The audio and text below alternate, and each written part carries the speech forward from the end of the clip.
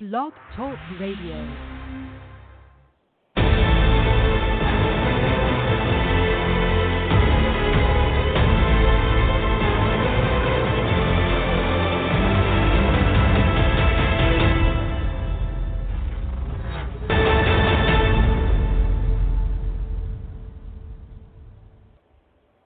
Calling all men, it's now your time for your show with your coach, the Men's Advocate Show with Linda Gross. Relax, be heard, and be understood. It's a show where men can be men. Now, here's the coach who has your back, Linda Gross.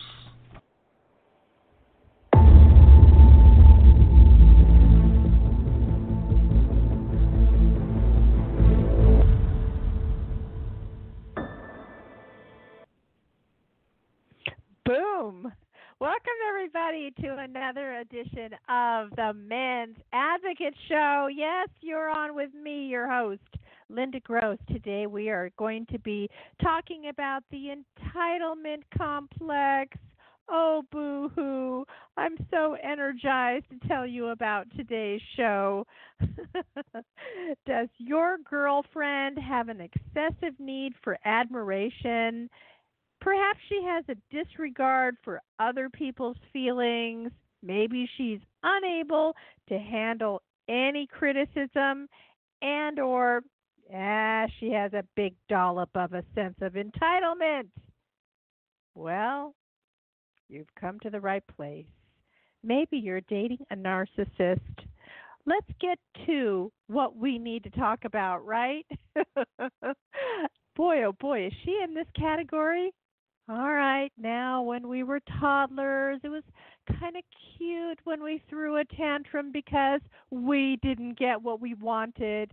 After crying ourselves silly, our parents picked us up to say, maybe later, maybe you'll get that toy later. Then they wiped our tears, blew our noses, and set us on the ground again. As we grew older, some of us would learn to wait our turn be patient, and show consideration for others. Well, some of us didn't get that memo. Some would continue to throw tantrums well into adulthood, but even more mature and sophisticated in even more mature and sophisticated ways, they would continue to expect special treatment just because and it's what they deserve, they thought. Naturally. Well, here's the thing she's not so special. It's not always me, me, me. Linked with narcissism, having a sense of entitlement can easily be mistaken as natural and even healthy. I mean, after all, don't our parents and societies constantly tell us that we're unique, we're special, and we're number one? I need you to chime in on this topic. Yes, you do. All right, here you go. You two ways to to chime in. You can call in and that number is 323 642 1677.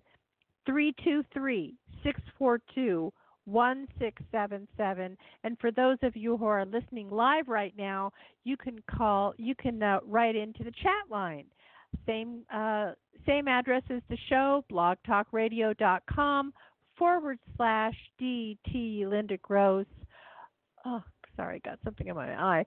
blogtalkradio.com forward slash dt linda gross. I'll be looking for you. All right so narcissism what is this? What are the symptoms of this?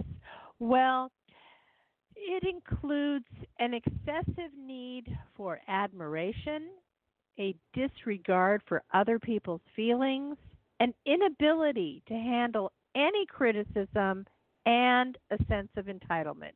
Now, sense of entitlement is when an individual perceives themselves as deserving of unearned privileges. These are the people who believe life owes them something. Perhaps it's a reward, a measure of success, a particular standard of living. The belief that it's all about me is often instilled in the home when the children, when as children, their parents make them the center of the universe. Now, sadly, as the years march on past childhood, instead of gaining empathy, they instead hold on to their entitlement issues even stronger. It becomes a crutch and then an identity to who they are. Empathy is the ability to understand and share the feelings of another. This becomes a scary proposition as the entitled people um, have gotten so many rewards from the parent who showered them with such undue praise and acceptance. So, as a result, they became stuck in a childish, self absorbed mindset. All right, so let's back this uh, reel up a little bit more. It takes two to tango. Why does the parent do this? Because the parent feels there's something lacking with their spouse. As such, they increase the value of the child. In psychology, we call this transference. The feelings they should have for their spouse are inappropriately transferred to the child. So, having a sense of entitlement is a malignant form of self love because it often harms the people around us, which indirectly harms us in the long term. In essence, a sense of entitlement is established and upheld by the belief that we are at the center of the universe. And if the universe doesn't meet our needs and desires, well, all hell will break loose, right? So, this narcissistic mindset is often the result of failing to learn as children and young adults that we are not so special and that other people don't merely exist to serve our needs and wants. Some typical examples of a narcissistic sense of entitlement behaviors include the following. So here here they are. Let's take a look at Jack and Ashley. They're in a long term relationship. Jack works full time to support Ashley and their child in a small two bedroom apartment. Ashley spends a large chunk of Jack's money on dresses and fancy accessories. When confronted, Ashley screams that she never wanted to live a poor and lonely life and that Jack never treats her anyway. Oh boy. The next one, Zach shows up unexpected at his mother's house, drunk one night, expecting to receive a bed and a hot meal. When his mother refuses, telling him to call his girlfriend to pick him up, he argues with her and drives away in a drunken rage, not talking to her for the next six months. How about Austin and Kate? They are best friends. But when Katie doesn't respond to one of Austin's texts within a half an hour, Austin blocks her and doesn't talk to her for the next week. Austin fights with Katie, accusing her of not caring and forgetting about her. Mm-mm-mm. And then lastly, let's, let's take a look at a gay couple, Alex and Nicholas, who are about to get married. Now, while Alex wants a humble and modest ceremony, Nicholas wants to be extravagant and expensive. Meeting with the wedding advisor while Alex is sick one day, Nicholas decides to raise the budget from 5000 to 20000 When Alex find out, finds out, he demands to know why. Nicholas says that he deserves more than just quote unquote a measly little wedding and guilt trips Alex into going through with it. So basically, the narcissist displays both passive and aggressive disregard for others. All right, if you've just joined us, you're currently listening to the Men's Advocate Show with me, your host, Linda Gross. We are talking about the entitlement complex. Yes, we are. You can join in on this topic. 323 642 1677. 323 642 1677. You can also join in on our chat line, blogtalkradio.com forward slash DT Linda Gross forward slash DT Linda Gross. All right, so when we come back from the break, we're going to be talking about some of the symptoms that you uh, can look for with regard to people who have the sense of entitlement. All right, we'll catch you right back after the break.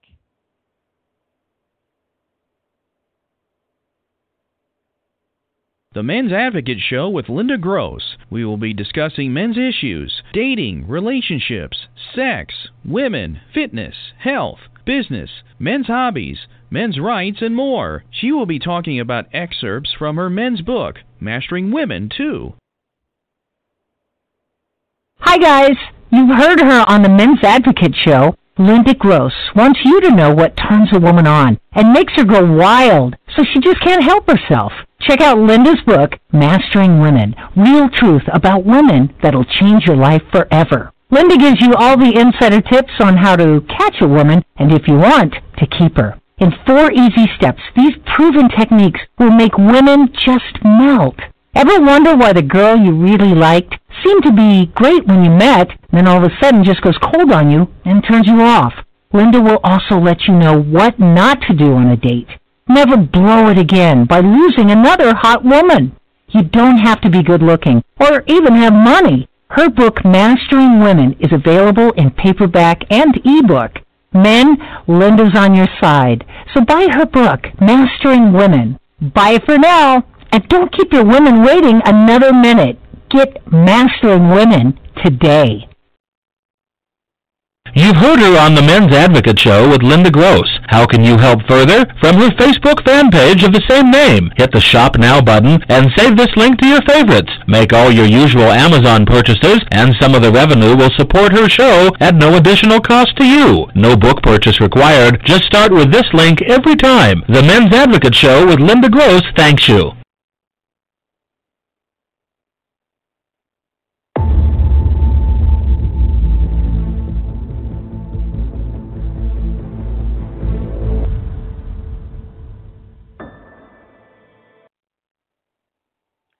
Welcome back, everybody. You're currently listening to the Men's Advocate Show with me, your host, Linda Gross. Today we are talking about the entitlement complex.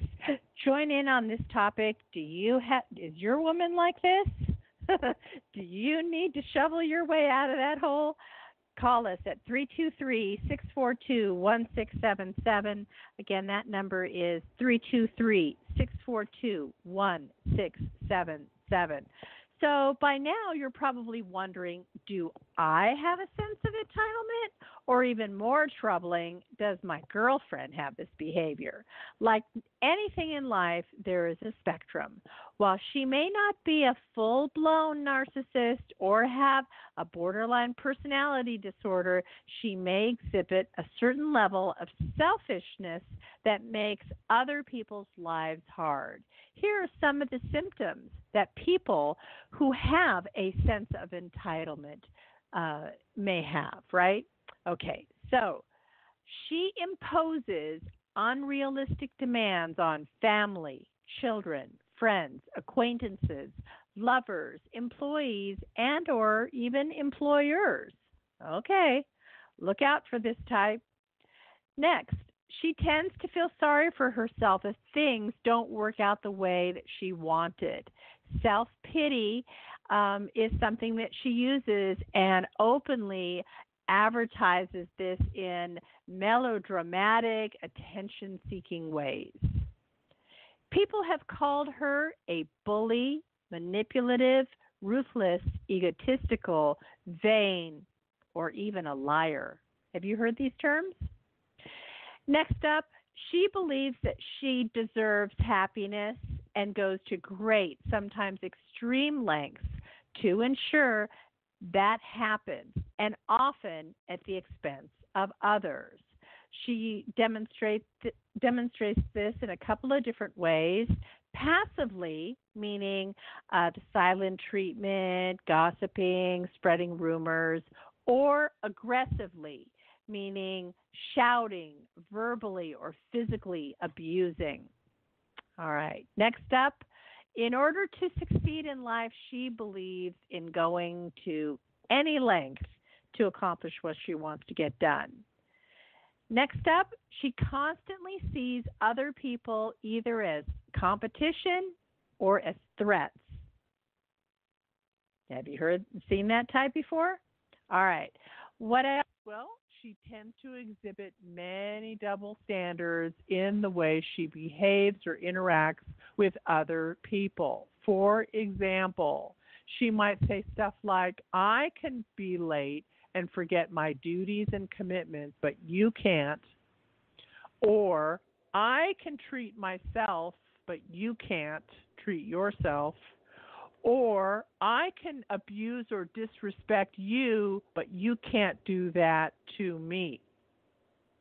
Have you heard these before? Okay. Next up, she tends to take more than she gives in friendships and relationships.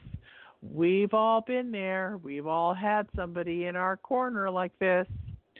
Next up, she tends to look out for herself her needs, her desires more than anyone else, almost 100% of the time. She has a hard time negotiating or compromising. Yep, that sounds familiar. She has a deep seated conviction that she has priority and should always come first, even at the expense of stepping on others. How about people always seem to be offended or upset by what she says or does? She generally thinks that she is better or more important than other people, that other people should see this and unquestioningly respect her. How about she craves admiration and adoration? She likes to assert her dominance or superiority over other people, finding it, hey, second nature. She has an uncompromising attitude. There is a lack of understanding others' needs in certain social situations, accompanied by an expectation that they should be far more interested in her life than she is in theirs. She has an over exaggerated sense of self importance accompanied by fantasies of power, beauty, and brilliance. All right. Uh, how about compromises that require one to meet others halfway don't exist in the world of the entitled. Everyone else is is either competition, threatening uh, their own success, or irrelevant. Well, I guess Frank Sinatra must have written this song for her. She often has a it's it's my way or the highway thinking, uh, and that line becomes a very common attribute of hers. Next up, the headstrong woman maps out a forceful route one that may be fruitful for them, but they are totally unaware of the carnage that lay in their wake. And they are in complete denial about holding any personal responsibility for their actions. Next up, the self entitled woman often appears totally oblivious to the inconveniences that they have caused you. Next, taking turns to wash the dishes after a meal or taking turns to make coffee in the morning, uh, uh, no, uh uh-uh. uh. It's a foreign concept to them. Their motto is to be the taker, and that's that. Giving praise is not something that they can do. In fact, quite the opposite. They are often cynical and overly critical and quick to pump their own pump up their own accomplishments. They are no strangers to confrontation, however. They are ruthless in their stance to believe this position is justified. And they easily say things like, I can't believe I have to work with such morons.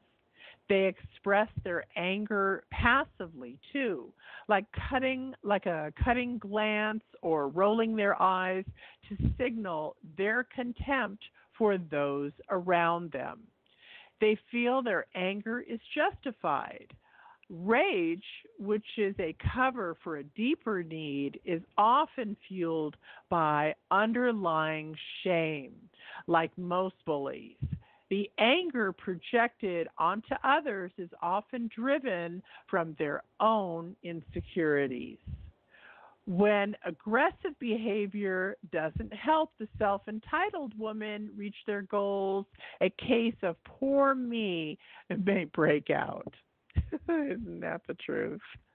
All right, next up, although consumed by the belief that social rules don't apply to them, you can be sure they will loudly complain if they feel like they are being shortchanged and not given enough credit, like on a group uh, a group project at work. Next, they often misinterpret their feelings as facts. oh, yes, we've seen that before. They often blame others for the situation that they are in. Their unmet expectations leave them feeling dissatisfied and chronically disappointed. Behind all this behavior is an individual who craves to be admired and adored.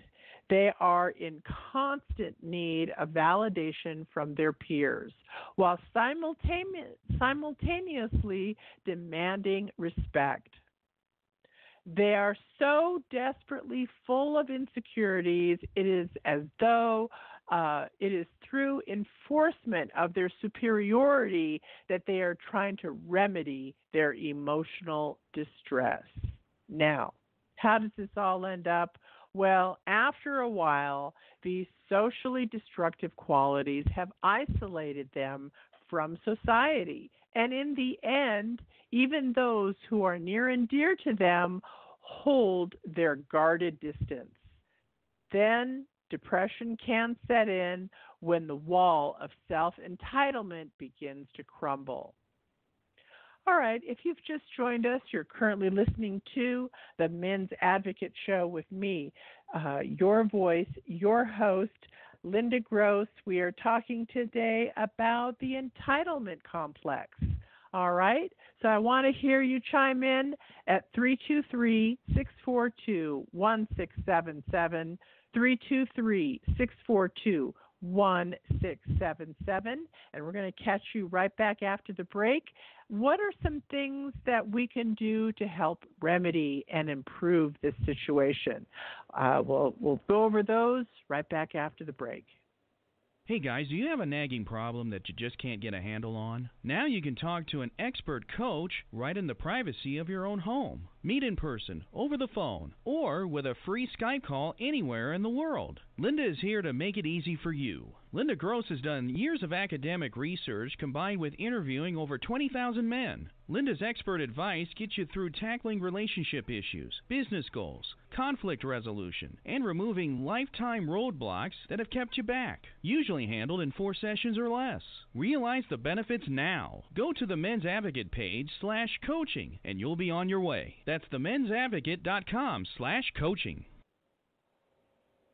Darn! Maybe you missed part of this show. Maybe you're still at work during the show. Maybe you heard the show but would like to listen again. Your problems are easily solved. Listen to any and all of Linda's archived shows at your convenience. Just Google SoundCloud The Men's Advocate. That's Google SoundCloud The Men's Advocate. The on demand library is also available on the TuneIn app. Subscribe now and please share with your friends.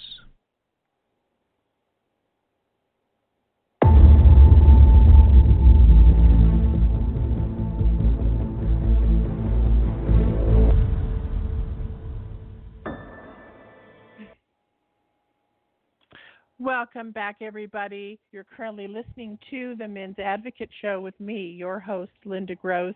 Today we are talking about the entitlement complex.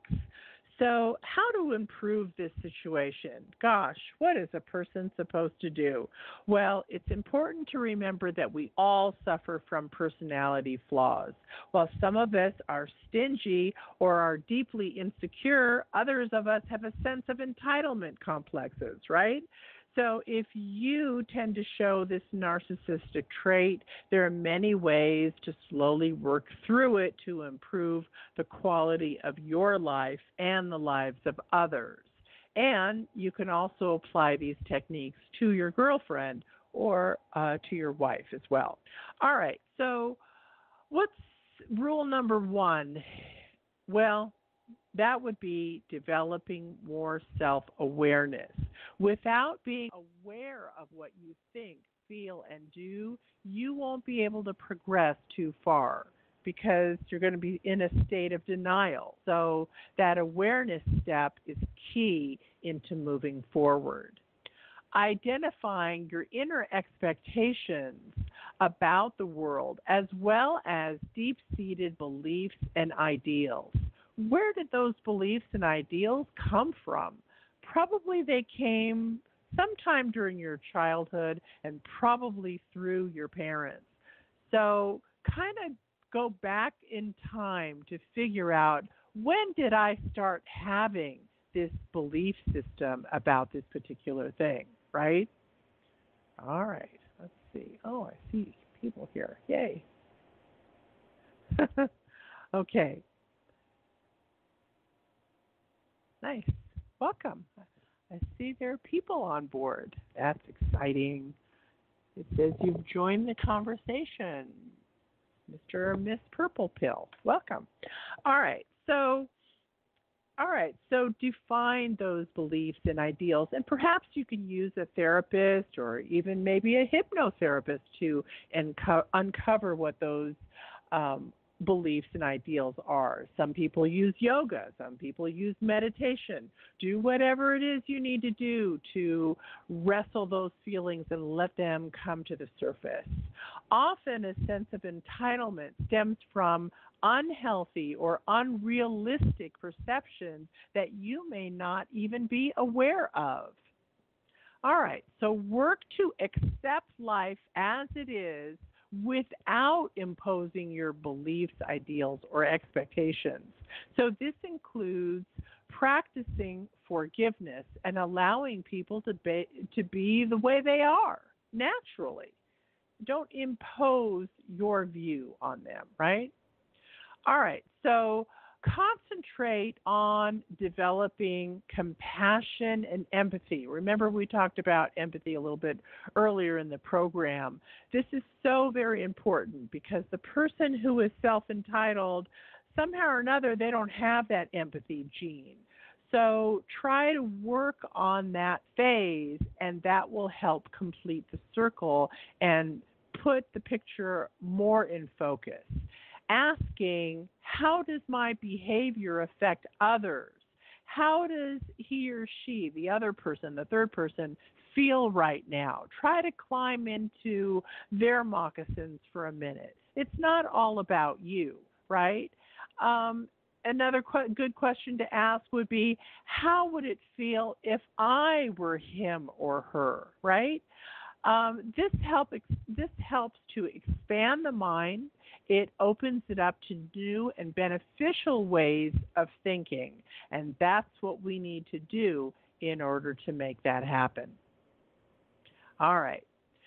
Celebrate with other people and celebrate other people, right? So pay attention to the happiness and the joy of others. Happiness shared is happiness multiplied. Also, being thankful for the people in your life allows you a place, allows you to place more importance in them, seeing how truly special not only they are, but how truly special they are in your life, right? All right, and then slowly working on cultivating true self love, true self love, not the malignant kind and the corrupt kind that we talked about earlier in the show, but self love for real. Because a lot of these negative behaviors are occurring because you are stressed, you have anxiety, you feel insecure, you feel abandoned, or, or whatever that feeling was in childhood that made you adopt this entitlement. Entitlement is sort of a control trip, isn't it? Right? It's putting up that wall, putting up that barrier before anyone else can put up the barrier. Um, so we're on to you. We we know why you're doing this. So these tips will will all uh, come in handy with regard to this. All right. So um, I'm not really sure how to. It says there are people in the chat line and they are engaging, and I'm so happy that you guys are engaging. And I don't know if you're supposed to type a message or if you can talk, you know, via audio. Maybe you can. All right, we'll wait and see for you guys to come forward, but I am uh, looking and listening. All right, so if you've just joined us, you're currently listening to the Men's Advocate Show with me, your host, Linda Gross. By the way, if you like our show, there's many ways that you can uh, show your love. You can listen, call, subscribe, chat, like our fan page, follow, comment, share, tell a friend, advertise with me, start with my Amazon link, download my app, and buy my book on Amazon.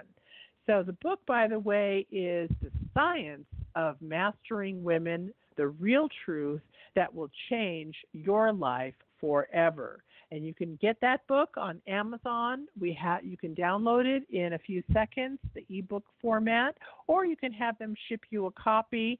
Again, just go to Amazon, uh, type in Mastering Women, Linda Gross. It should pop up, and voila, you will be in the know, right?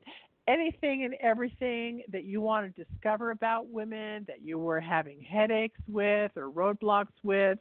And the women could, don't necessarily have to be a romantic partner. Heck, uh, my guys write to me and say, "Gee, I use some of your techniques on a coworker, or maybe somebody, a family member at the family reunion that I've never gotten along with, or my next door neighbor that I'm having an issue with."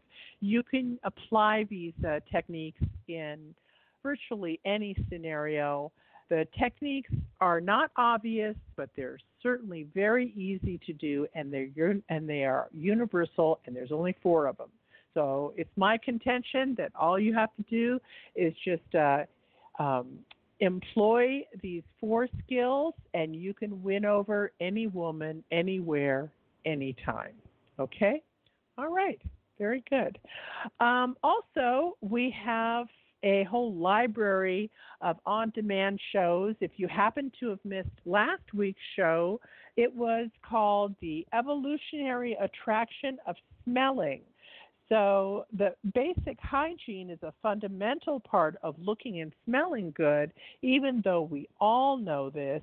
So many people still fail at it humans have an evolutionary attraction towards clean people because they were the safe ones to be around throughout history. They were safe because they survived, right? All right. So we still have those traits and simply like the people who are clean and smell good. So, how can you win someone over if you stink?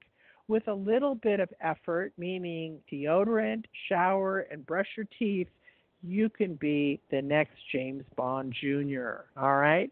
So how do you listen to last week's show? Well, you can listen to last week or any of any and all of the archive shows.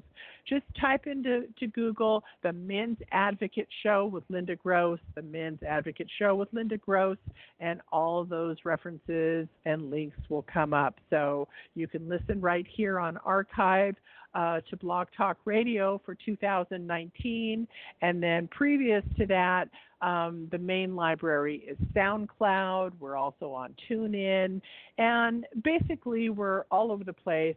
Just, you know, your favorite podcast uh, station that you normally listen to, um, I think our shows are coming up there as well. So just type it in and uh, you'll be able to find it easily on the search engine. Thank you so much for joining us. We are here uh, usually on Tuesdays. Um, that would be 3 p.m. Pacific time, 6 p.m. Eastern time. We'll see you next Tuesday. Uh, right here on Blog Talk Radio. And uh, please tell your friends about us. We look forward to seeing you. We look forward to chatting with you. If you have a guest or a comment or a topic that you would like me to cover, please let me know. There's lots of ways that you can find me. Same name as the show. You can find me on Facebook, on Twitter. Uh, you can find me on uh, Instagram. Our, our Instagram handle is uh, Linda Gross Speaks. Linda Gross Speaks. So lots of ways. Just just Google it. It's we're everywhere. All right. I look forward to seeing you next week. You guys have a beautiful and safe week, and we'll talk to you next time on the Men's Advocate Show. Bye for now.